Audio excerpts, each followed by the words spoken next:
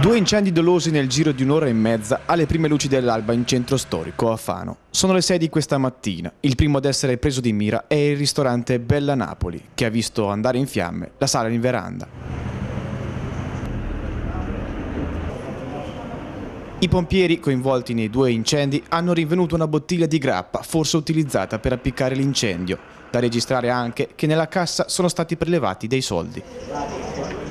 A distanza di pochissimo tempo sono le 7.30, il secondo incendio, questa volta in via Nolfi, a soli 500 metri di distanza dalla bella Napoli. A finire in fiamme questa volta è stato il locale Tiravino, il più colpito con danni strutturali. Qui hanno dato fuoco alla sala del primo piano e quella del piano terra.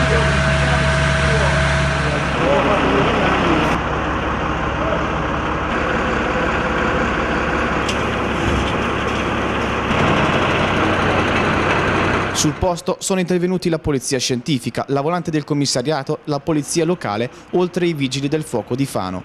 Con questi gravi episodi si aprono scenari inquietanti in città. Due ristoranti presi di mira, uno dopo l'altro. Con queste modalità fanno pensare al peggio. Ma per ora si possono fare solo ipotesi. Spetterà dunque agli inquirenti a cercare di capire chi e che cosa possa esserci dietro a questi episodi criminosi.